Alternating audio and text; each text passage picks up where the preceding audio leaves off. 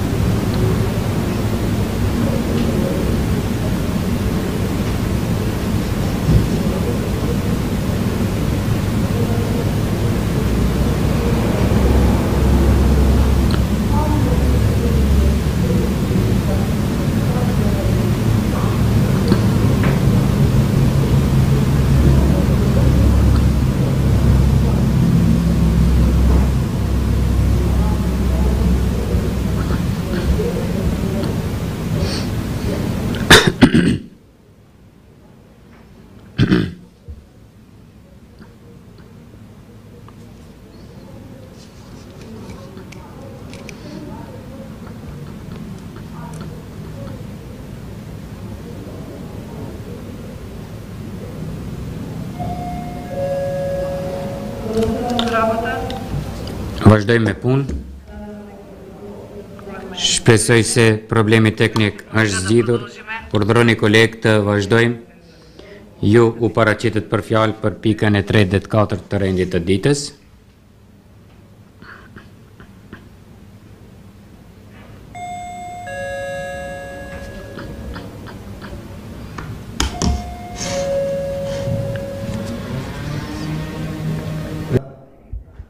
Nuk po e marr si obstruksion mos punimin e mikrofonit, ndoshta edhe unë kam faj se kur po e marr fjalën po prishen edhe mikrofonet.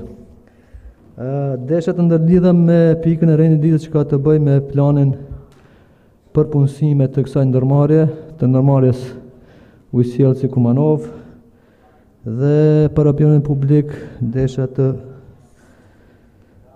theksoj disa numra shifrat e të punësuarve në këtë ndërmarrje. Nga 219 të punësuar gjithsej, vetëm 29 prej tyre janë shqiptarë, që i bie në përqindje diku 13% të punësuar shqiptarë në këtë ndërmarrje, që është larg përfaqësimit adekuat të të punësuarve në këtë ndërmarrje.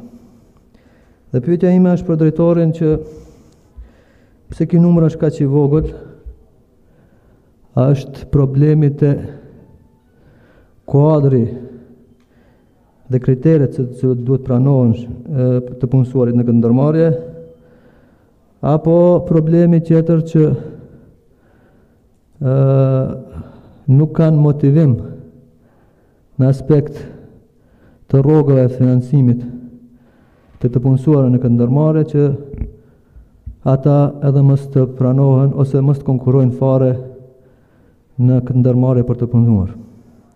Dhe sa i përket planit për punësimin vitin e ardhshëm, u theksua edhe nga parafolësit se shkaku i krizës ekonomike, do ta thoja, nga COVID-19 Unë nuk besoj që do të ketë mundësi që të realizohet ky plan dhe të bëhen punësime të ardhshme në këtë ndërmarrje, edhe pse janë paraparë që gjatë vitit të ardhshëm sipas të famshmit balanser të punësohen 14 shqiptarë. Pra gjendja aktuale në këtë ndërmarrje e përfaqësimit të shqiptarëve është shumë e ulët dhe Në të ardhmen nuk parashifet që të punësohen punonjës të rinj dhe desha edhe një herë ta për përsëris për drejtorin se cili është shkaku që ky numër është kaq i vogël. Ju faleminderit.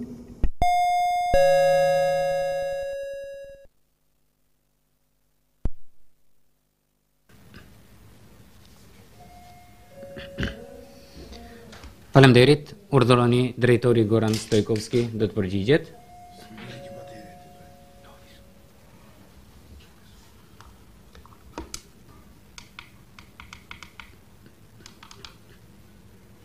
Ključan apo sa to je? Ključan više.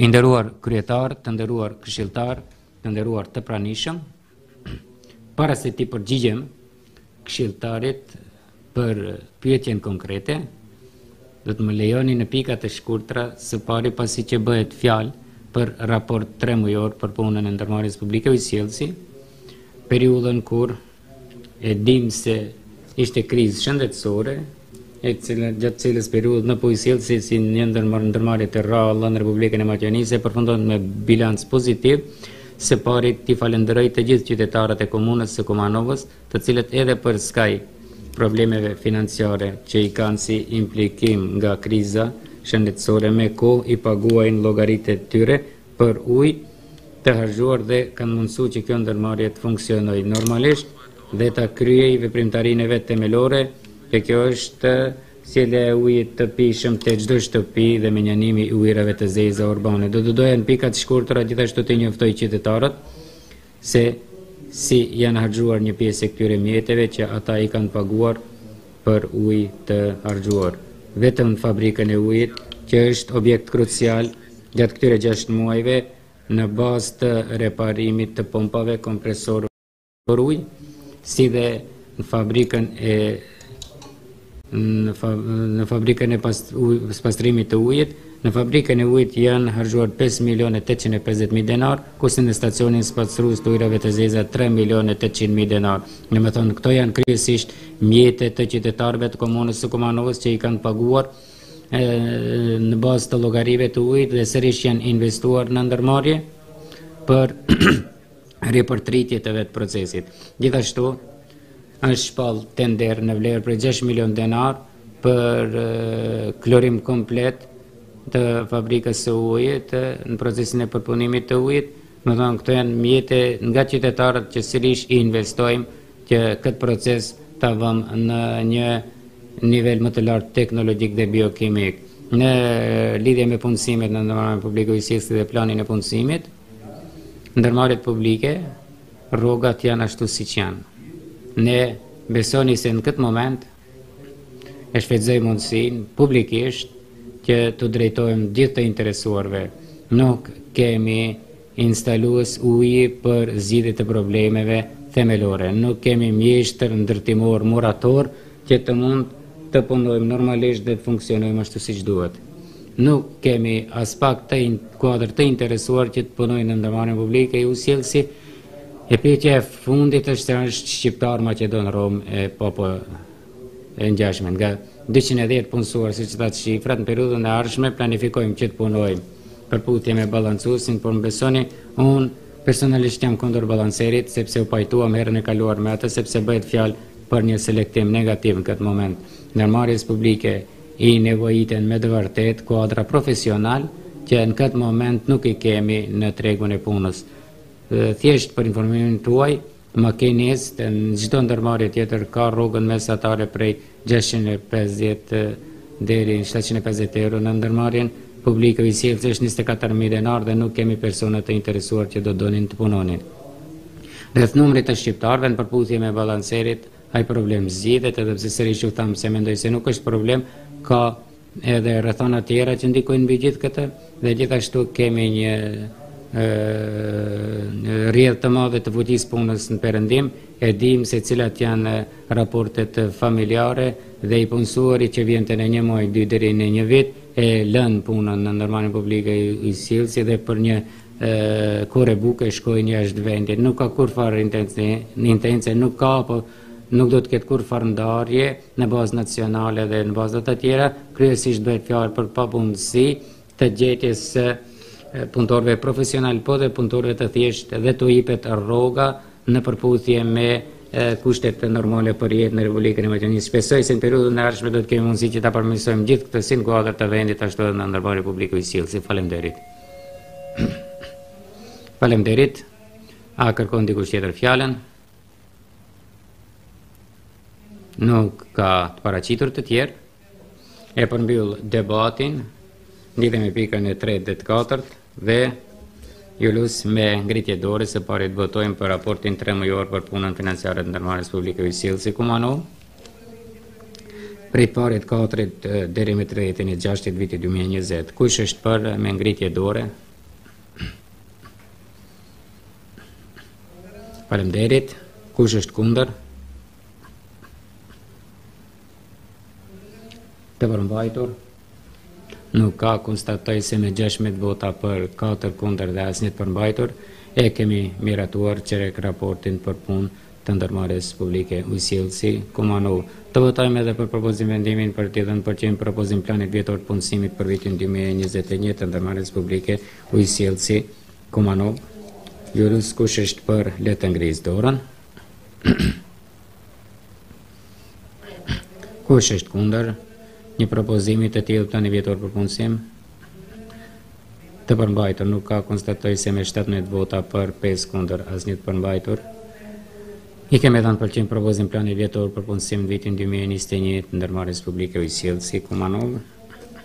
Sërish propozoj debat të përbashkët për pikën e pestë dhe të gjashtë të rendit të ditës, pasi që që të dyja janë në sferën e punës së ndërmarrjes publike pastrimi dhe gjelbërimi, që për kush është për propozimin tim me ngritje dore për debat të përbashkët, të votoni. Kundër nuk ka të përmbajtur 20 me 23 vota për dhe asnjë kundër dhe të përmbajtur. Është miratu propozimi për debat të përbashkët, ku zhvillojmë debat të përbashkët për raportin për punën afariste financiare të ndërmarrjes publike pastrimi dhe gjelbërimi Kumanovë për periudhën prill qershor 2020 dhe propozim vendimi për të dhënë pëlqim propozim planit vjetor për punësim gjatë vitit 2021 të ndërmarrjes publike pastrimi dhe gjelbërimi Kumanovë Urdhëroni a paraqitet dikush për fjalë për këto pikë? Këshilltarja Aneta Shandeva-Donevska, urdhëroni kolege.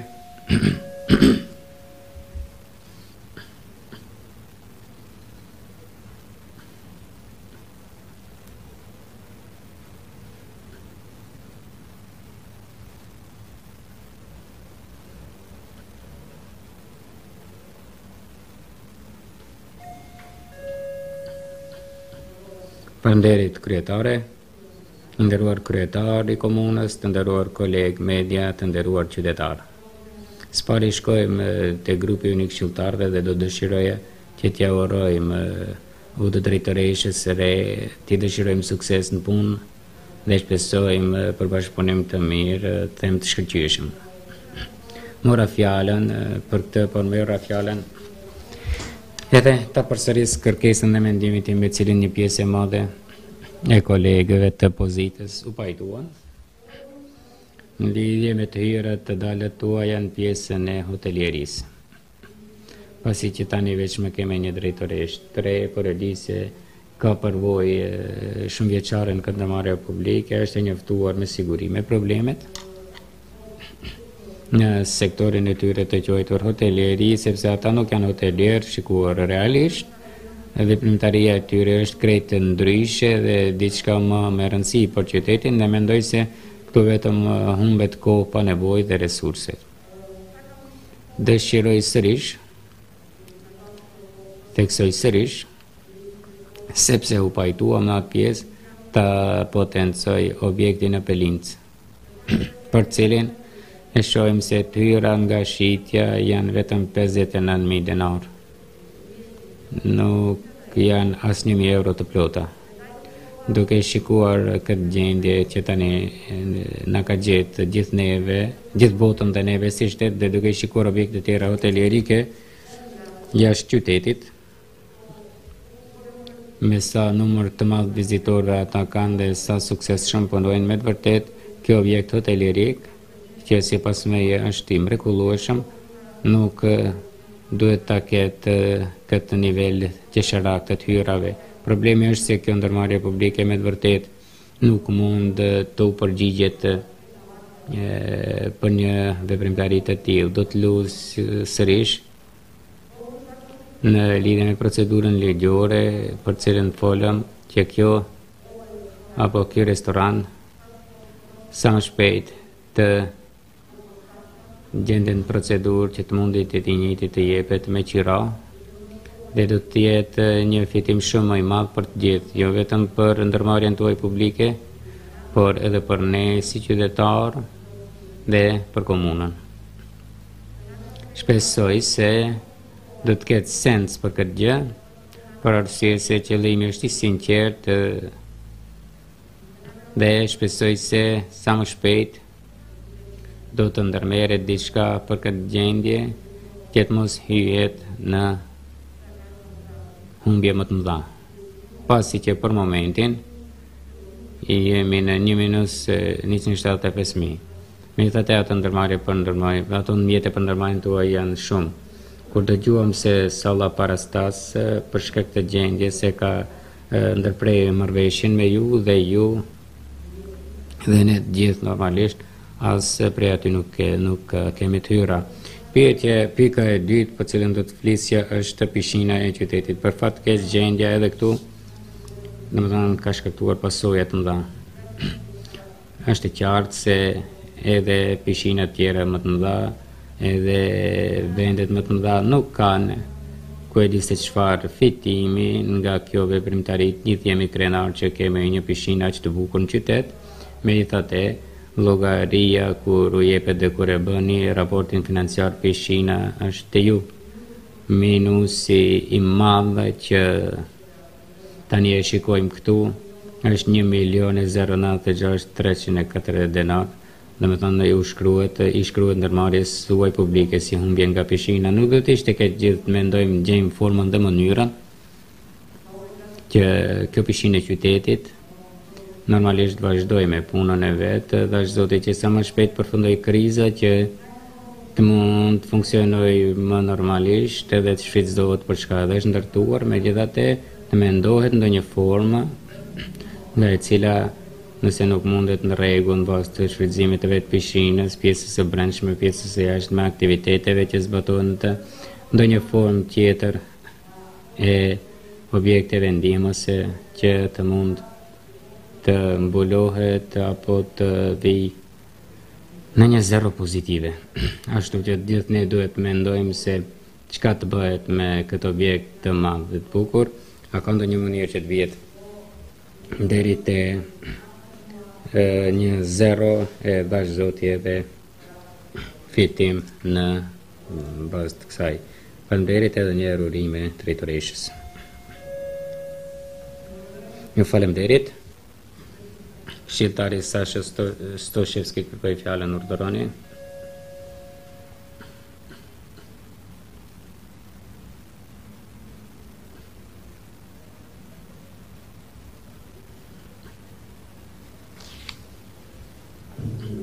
Nderuar kryetari i komunës, urime për u.d. drejtoreshën, unë do të përqë, nuk do të përqëndrohem te bilanci i suksesit, për të hyrat dhe të dalat shihet se edhe kjo ndërmarrja publike fiton punon me humbje prej 5 milion në këtë tremujor, Do doja ta pyes drejtoreshën, kohën e fundit, gjatë një apo dy muaje, në rrjetet sociale, nëpër portale, po qarkullojnë disa fotografi ku kamionë nga qytetet tjera shkarkojnë mbeturina në deponinë tonë Drisla apo si quhet Krasta, në deponinë tonë dhe këto janë kamionë me tabela të Manastirit, Prilepit e kështu me radhë. Ka dhe video incizime ku shkarkohen mbeturina të llojeve të ndryshme, edhe vetë banorët e fshatrave Pçinjë dhe Studena Barë dëshmojnë se bëhet fjalë për bërllok që nuk duhet të hudhet në deponinë tonë. Ju pyes juve se a jeni të informuar për këtë dhe çfarë janë ato kamionë që shkarkojnë bërlloqe të tilla?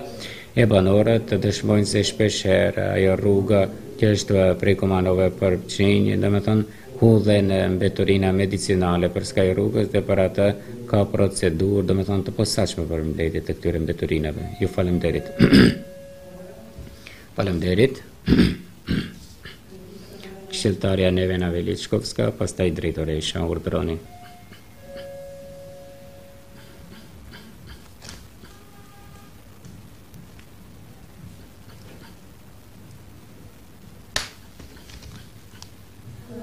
E nderuara drejtoreshë, në lidhje, do të desha të flas lidhje me pra, planin vjetor të punësimit për vitin 2021, duhet t'ju pyes se sa është numri i përgjithshëm i të punësuarve në ndërmarrjen publike pastrimi dhe gjelbërimi, sa janë punësu në vitin 2019, sa në vitin 2020 dhe sa planifikohet të punësohen në vitin 2021. Faleminderit.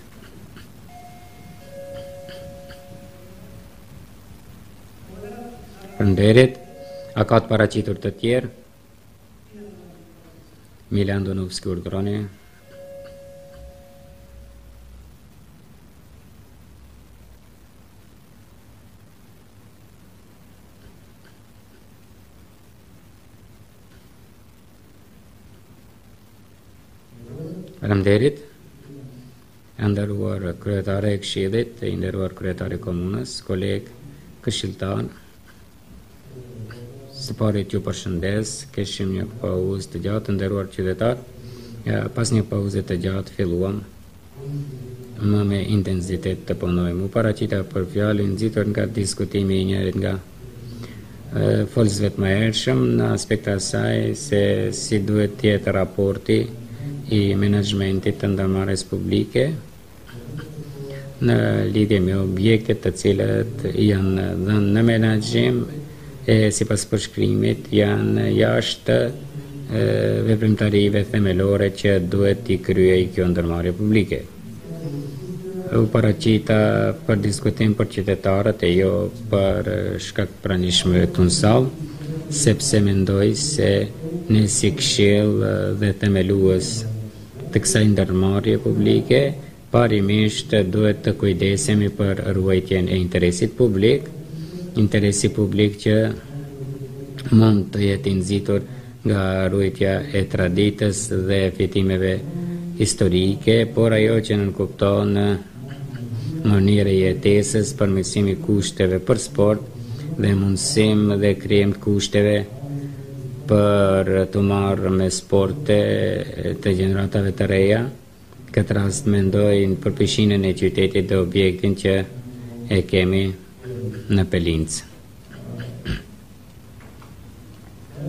U paraqita për diskutim për shkak të një fjalie që u tha, ku qartë bëhet distinkcion dhe ndahet se çka është ruajtja e interesit publik Dhe çka është ruajtje e interesit privat dhe përkushtimeve. U tha se qiramarrësi i sallës parastas në Vorrezat e qytetit për shkak të rrethanave ku është gjendur qyteti e ka lënë qiran shumë logjike dhe natyrë e natyrshme, pasi që ky është qiramarrës privat i cili e sheh interesin privat nuk mund të organizojë Mbledhje e parastas nuk mund nga kjo të sigurojë mjeta financiare dhe ndërpret kontratën. Ne si komunë nuk mundemi ashtu të sillemi ndaj asaj që është interes publik. Objekti që është në Pelincë nuk është kafeteri që të jepet me qira. Ai është objekt që duhet të shërbejë si përkrahje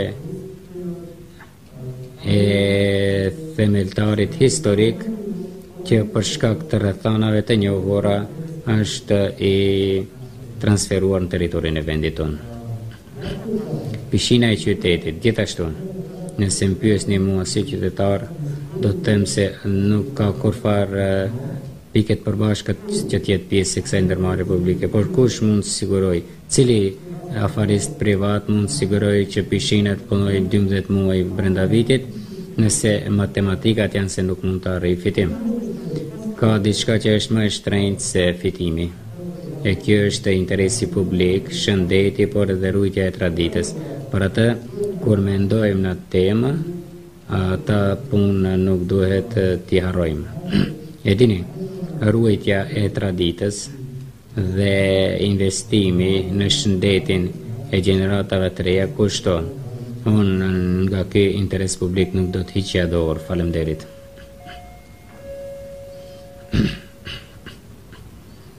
Faleminderit.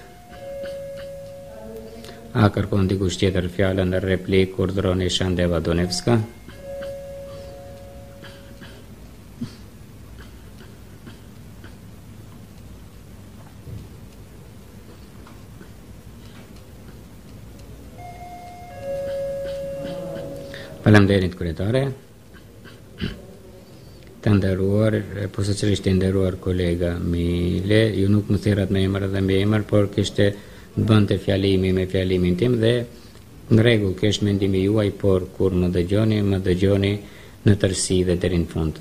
Interes publik nuk ka në restorant. Restoranti nuk mundet me asgjë t'ndihmojë që të ruhet tradita. Tradita është 100 metra më poshtë në park restoranti që hyn Në humbje e nuk kontribuon asgjë, nuk e di se si do ta mbronte interesin publik, kur komuna duhet të ndajë mjete, sipas meje interes më i madh është që ato mjete të investohen për diçka tjetër, e jo të jepen për hotelieri, ndërmarrjes publike, pastrimi dhe gjelbrimi. Kurse sa i përket pishinës së qytetit, do t'ju demantoj, Për arsye se parimisht thashë objektet ndihmëse do t'ju lus, më përcillni deri në fund vetë pjesa që ka të bëjë, pjesa e jashtme dhe e brendshme e pishinës,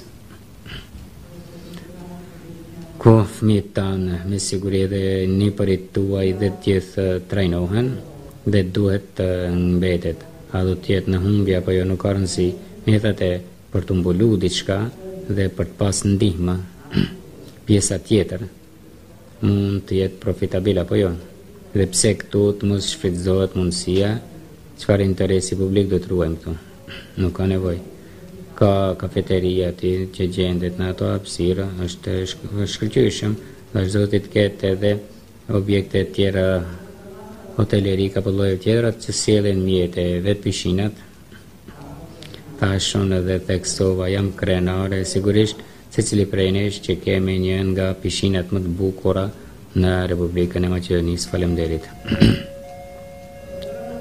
Faleminderit përgjigje replikës Andonovski urdhëroni.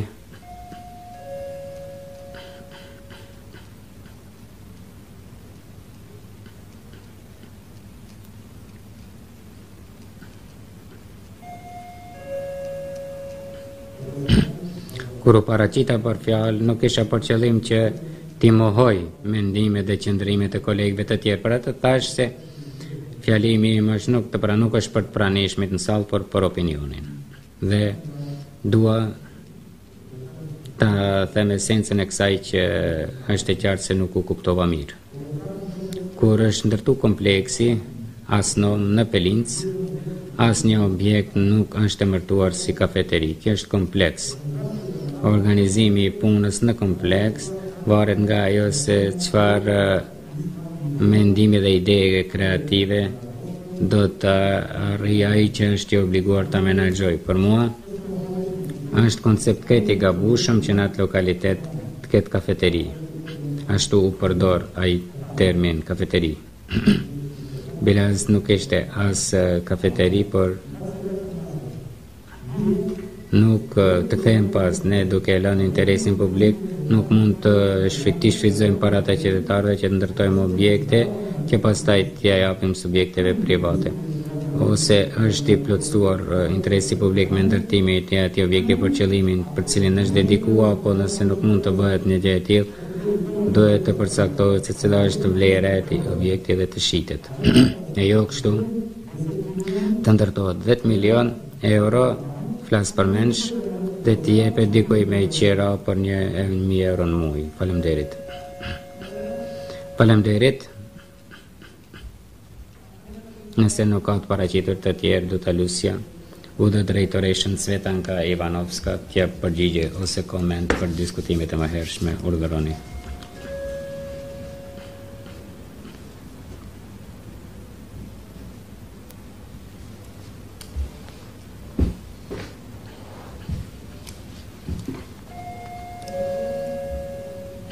Faleminderit i nderuar kryetari i komunës, të nderuar të pranishëm në sallë.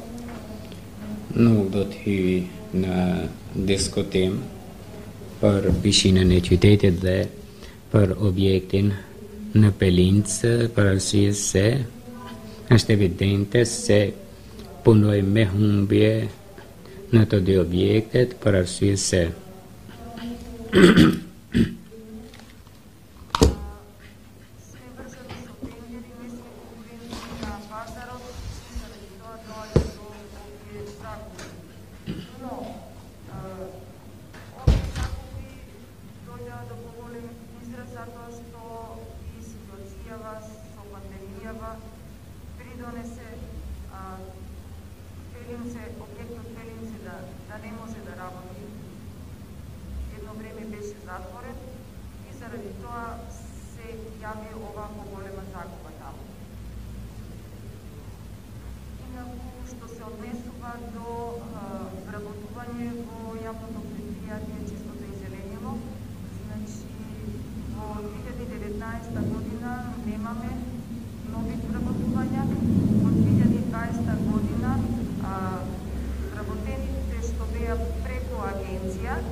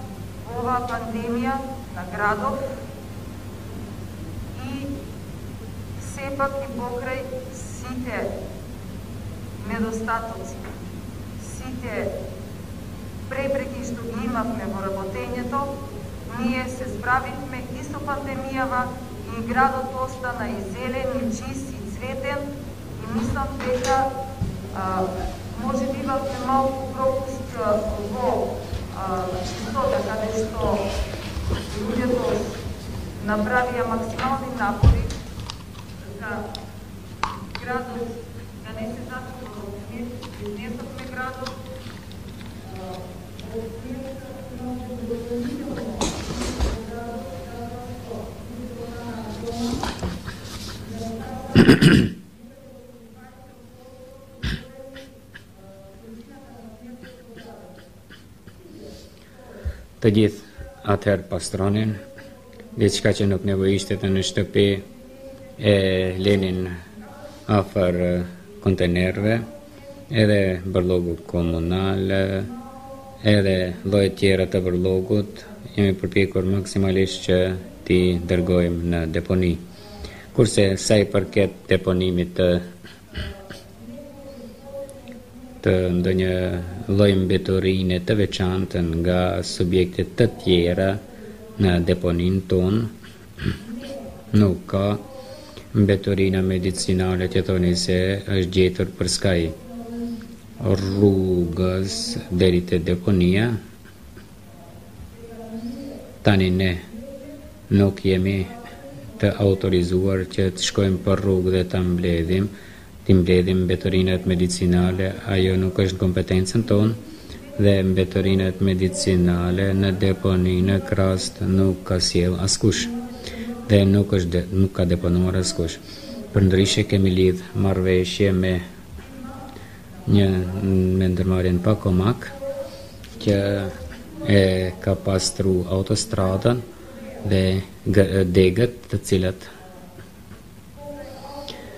Janë hedhë përskaj autostradës nga krasitja, ato kanë lidhë marrëveshje me ne dhe ato degë i kanë bartë në deponinë tonë, por ajo është bërë sipas ligjeve dhe dispozitave ekzistuese, kështu që këtu nuk ka dilemë për kurrfarë mbeturina medicinale apo lloje tjera të mbeturinave, aty deponohen vetëm degët, e drunjve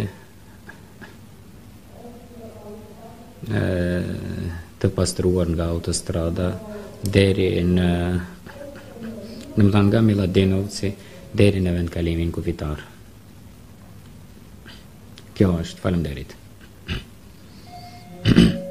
faleminderit kryetari Maksim Dimitrievski kërkoi fjalën urdhëroni replikë së pari urdhëroni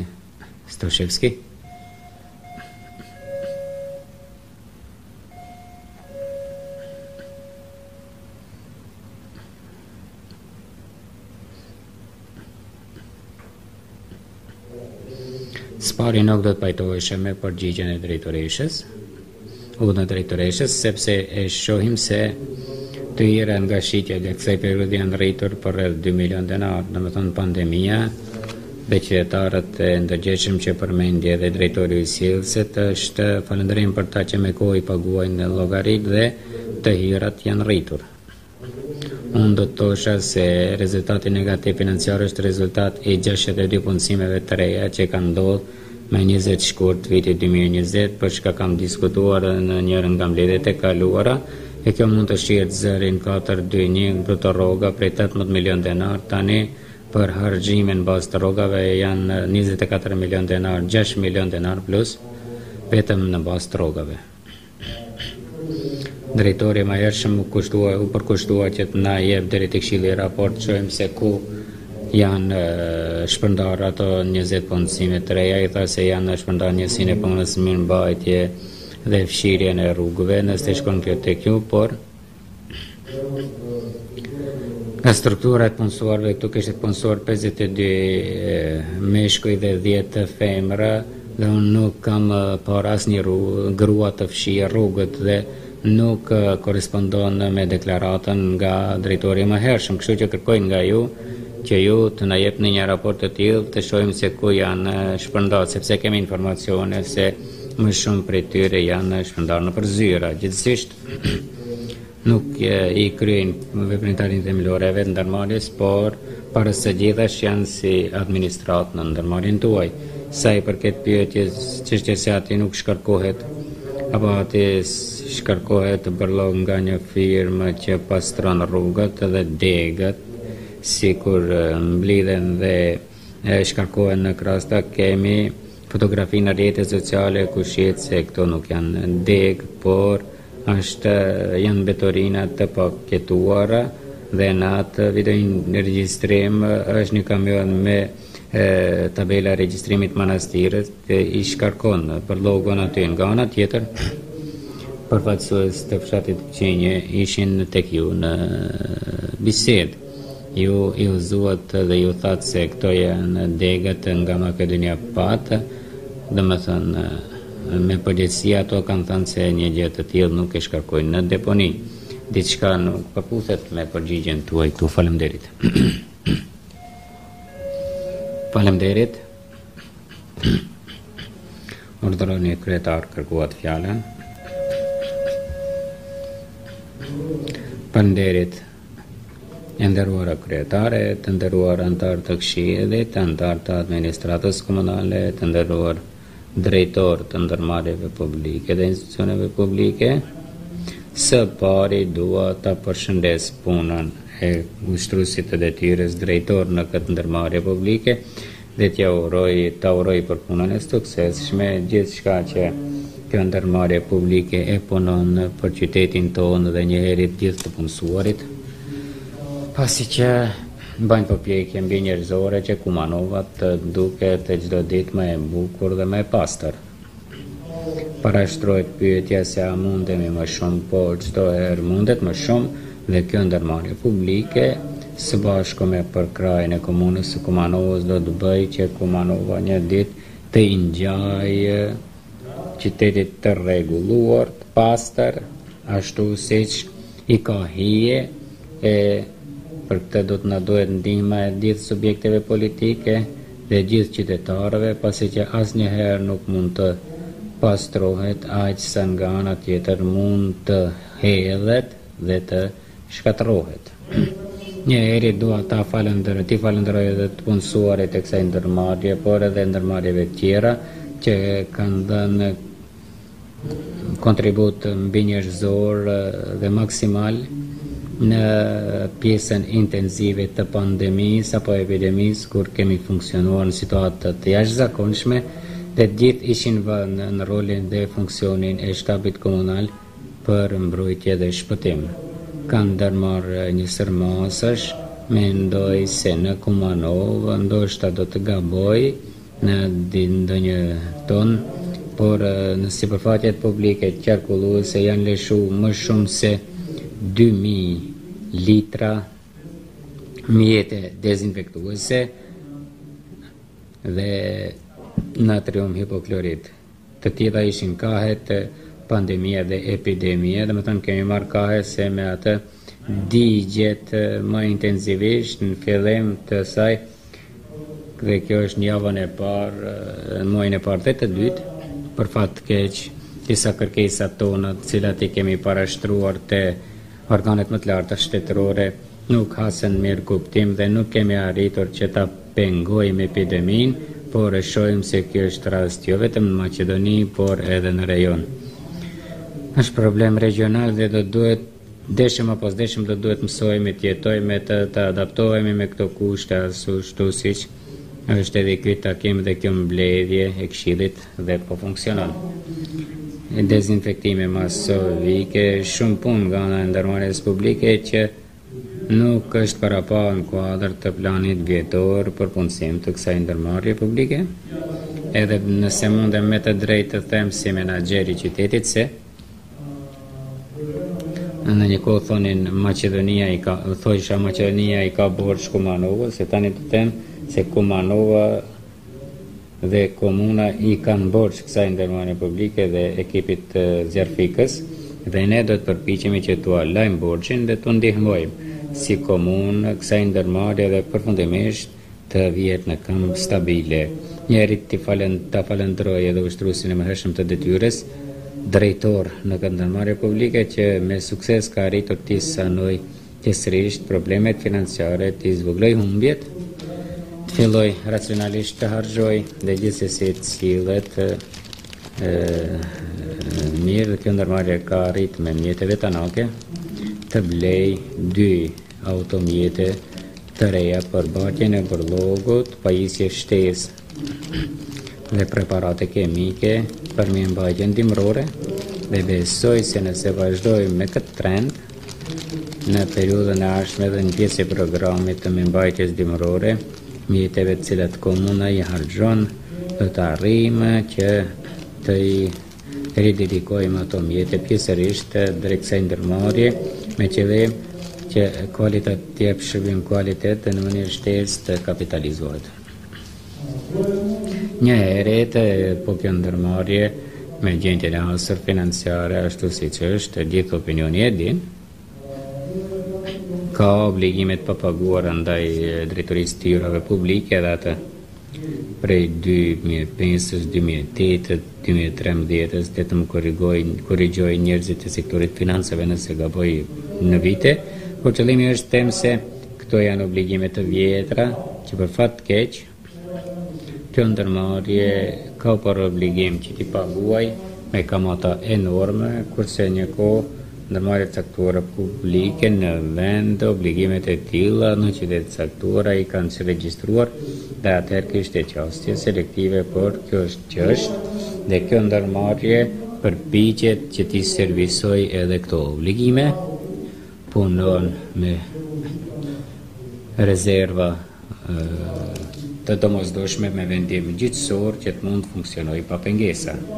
Supozoj se këshilltari që replikonte nuk i njeh mirë gjendjet financiare në këtë ndërmarrje publike, dhe pse zëri në bazë të rrogave dhe kompensimeve për punë, është rritur, do t'ju them se këtë ndërmarrje nuk ka rritje të numrit të punësuarve, por në këtë ndërmarrje kur unë kam ardhur për kryetar, kishte persona që punësonin për 6000 denarë kompenzim mujor.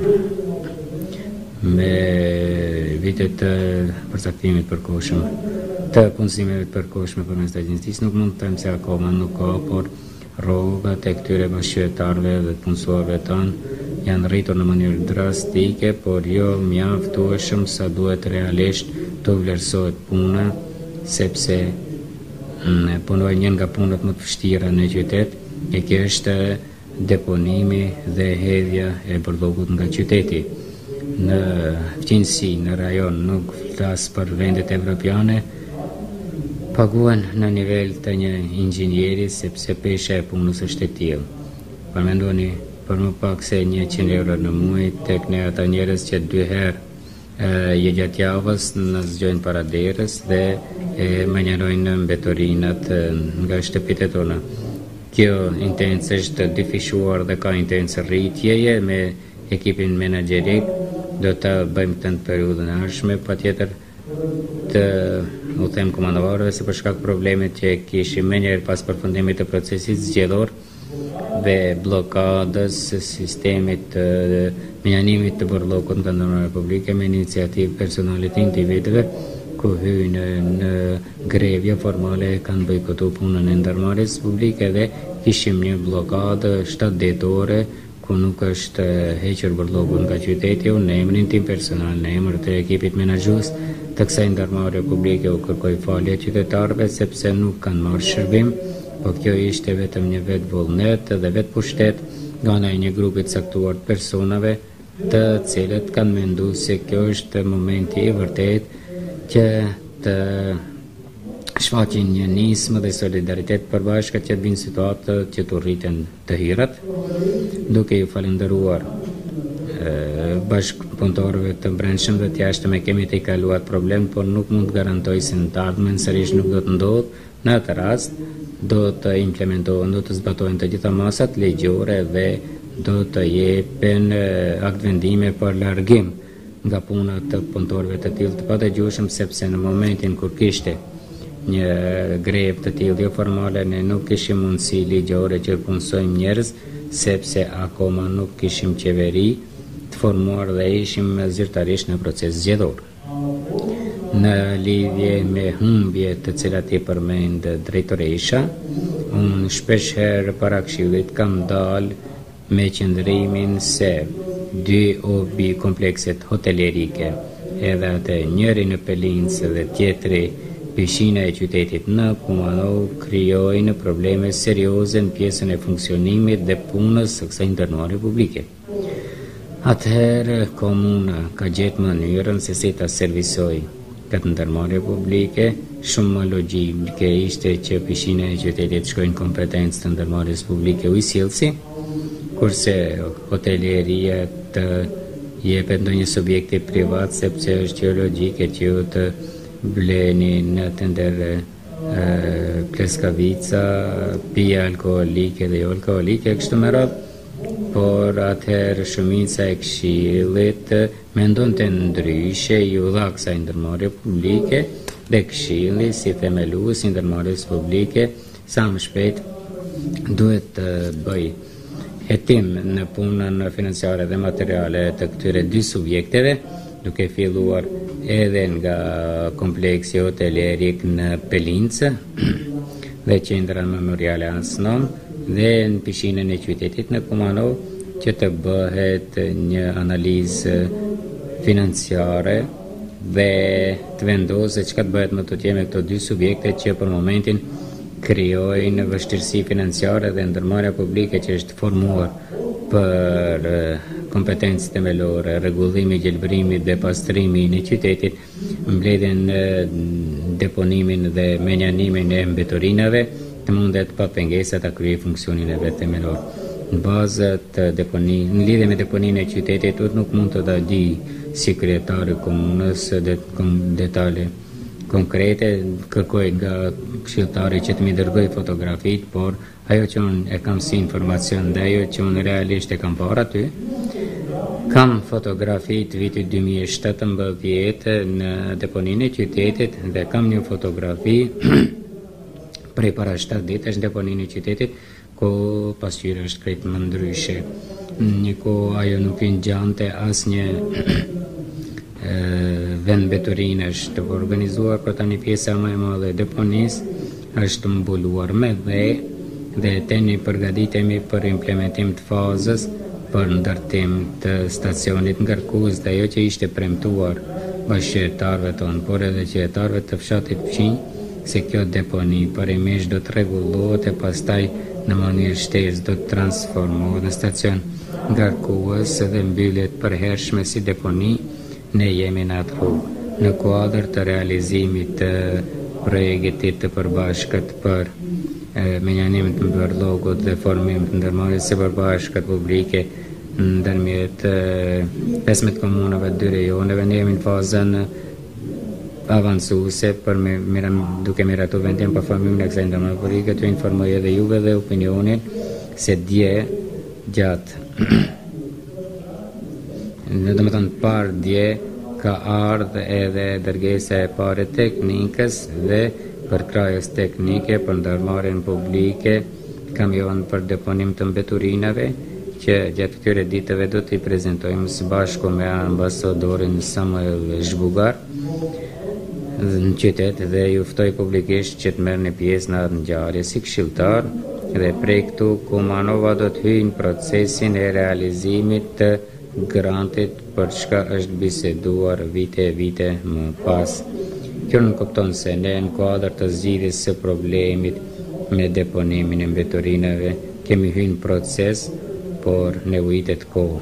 Nëse e para Maksim Dimitrievski që së bashku me kolegët e tij të regjionit atë projekt e ka filluar para më shumë se 7 vitesh dhe ne si kryetar të ardhur rishtazi kemi arritur që t'i tejkalojmë gjitha keqkuptimet në rajon sepse nuk është e thjeshtë 15 komuna formojnë ndonjë subjekt të përbashkët dhe kemi arritur gjithë këtë edhe pse jemi gjeneratori dhe prodhuesi më i madh në rajon në dy regjionet të mbeturinave dhe prodhojmë sasinë më të madhe të mbeturinave që fabrika për përpunimin e mbeturinave të mos jetë në territorin tonë, por e kemi dislokuar në territorin e komunës së Strumicës apo kërkoj falje Shën Nikollës. Atëherë Kjo nënkupton se gjithë mbeturinat nga Kumanova dhe rajoni do të deponohen në atë fabrikë ku do të selektohet,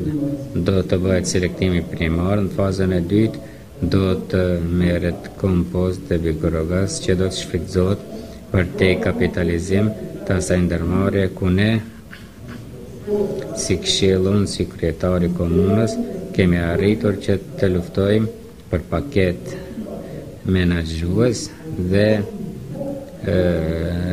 depozitë themelore të ndërmarrjes, domethënë të jetë në kuadër të mundësisë së komunës e jo në kuadër të asaj siç është edhe në përputhje me ligjet praktikës në vend apo me kërkesë të komunave të tjera në bazë solidare një komunë, një votë.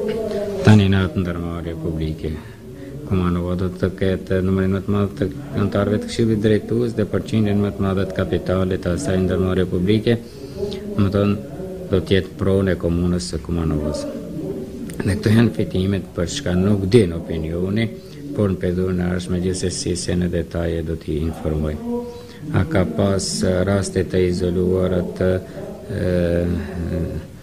dërgimit të mbeturinave në të zezë në deponinë e qytetit sigurisht që po a ka pasur mbeturina medicinale të hedhura në rrugë unë kam parë fotografi dhe besoj se ka qenë ashtu por kjo është e tëra për shkak të sjelljes së pandërgjegjshme të individëve të caktuar ne jo vetëm deponinë e qytetit ne kemi mbi 70 deponi të egra në qytet ku qytetarë të pandërgjegjshëm, individë po dhe subjekte juridike, hedhin bërllok në sipërfaqet publike, qarkulluese, por për fat të keq nuk kemi kapacitet që ta ndryshojmë atë, sepse ndryshimi është në mentalitet dhe për këtë duhet shumë të punohet.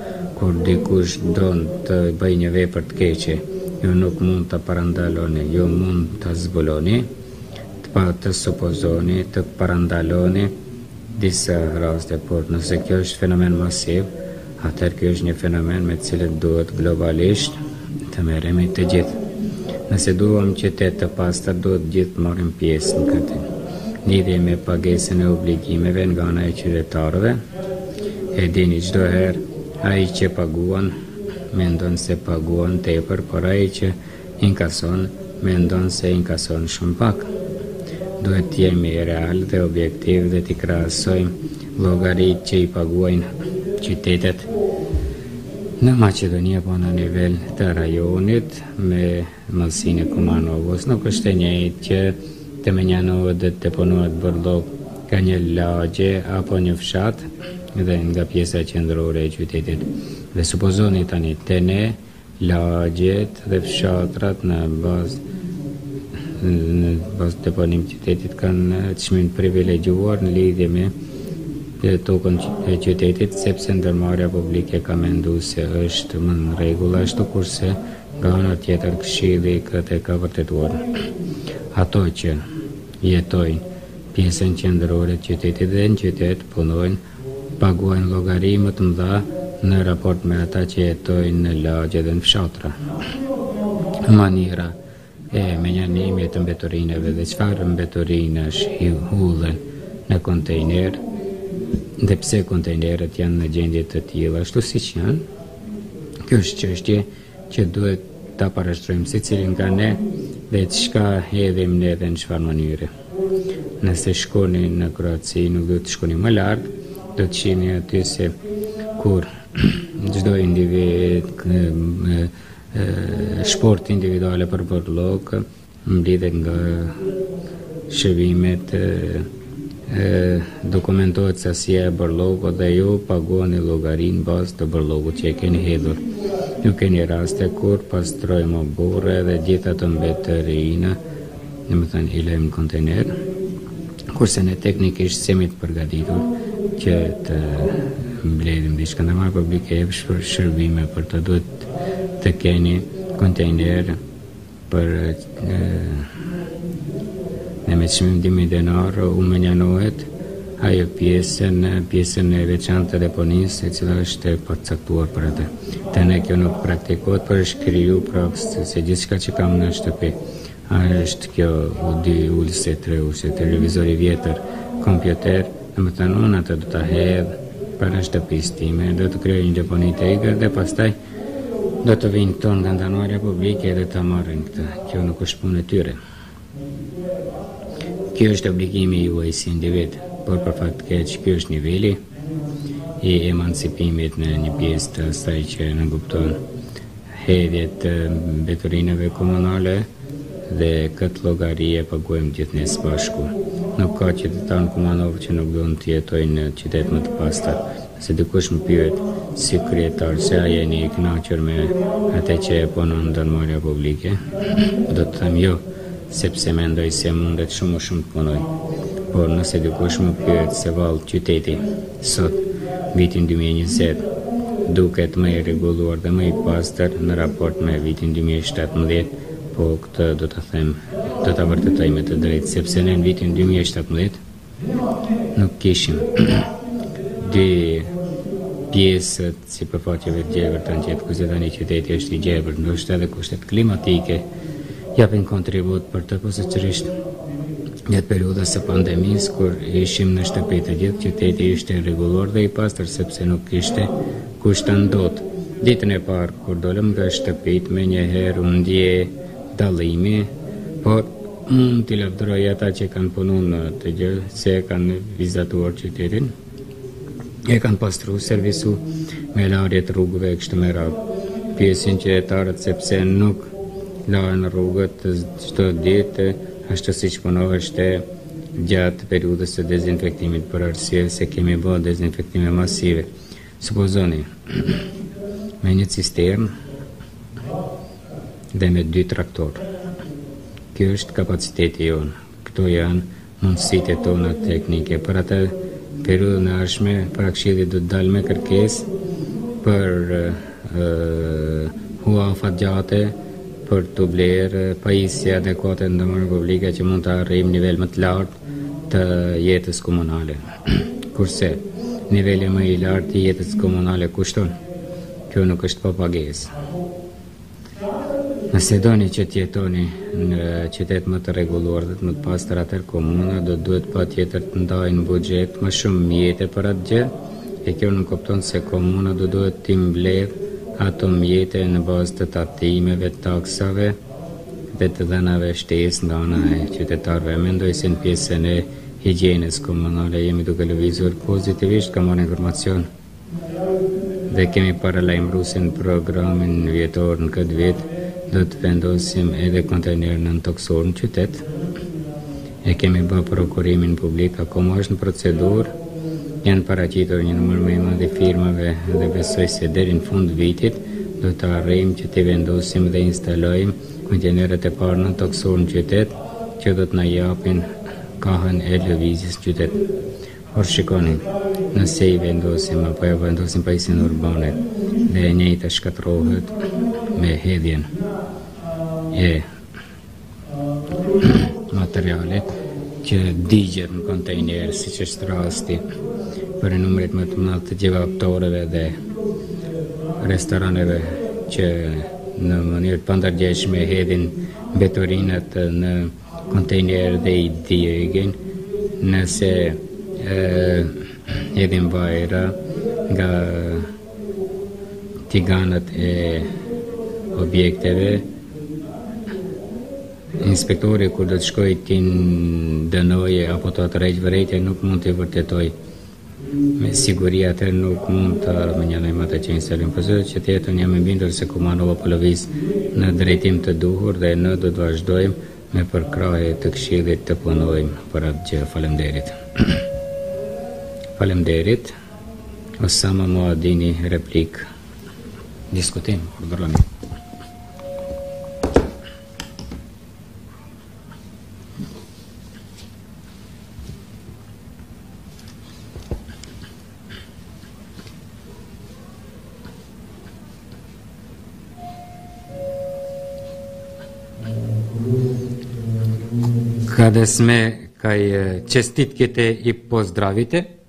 Shproj pozicionin drejtoreshës në fjalë në ndërmarrjen pastrim dhe gjelbërim, duke veçuar dhe duke përgëzuar që njëri nga gjashtë drejtorët e gjashtë ndërmarrjeve komunale të komunës së Kumanovës, pikërisht është zgjedhur një femër apo një grua e cila Shpresoj dhe do doja të besoj që do të angazhohet maksimalisht për pastrimin e qytetit. Që të jetë qyteti të jetë edhe më i pastër sepse e dimë që nevojitet shumë punë. Gjithashtu do doja që me drejtoreshën në të ardhmen të kemi një bashkëpunim varësisht edhe prej kërkesave dhe nevojave të qytetarëve të cilët kanë nevojë në disa në disa raste që kjo ndërmarrje të reagojë për mos pastrimin e rrugëve apo mbledhjen e mbeturinave nëpër qytet. Faleminderit.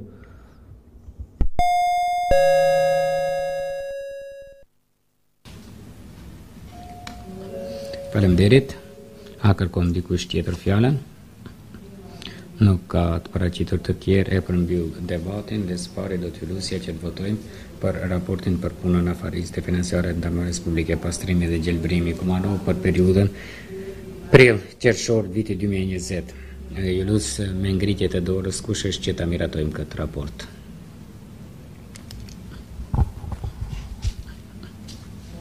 Faleminderit. Kush është kundër miratimit të raportit? Aty keni. 2. A abstenon dikush nga votimi Nuk ka Konstatoj se me 16 vota për 2 kundër dhe asnjë të përmbajtur e kemi miratuar raportin e punës së ndërmarrjes publike Pastrimi dhe Gjelbërimi për periudhën prill qershor viti 2020, tash do të votojmë në lidhje me propozim vendimin për të dhënë pëlqim propozim planit vjetor për punësim gjatë vitit 2021. Të ndërmarrjes publike Pastrimi dhe Gjelbërimi Kumanovë, Kush është për ata që t'i japim pëlqim këtij propozim plani vjetor, urdhëroni nëntëmbëdhjetë, pesëmbëdhjetë A ka kundër?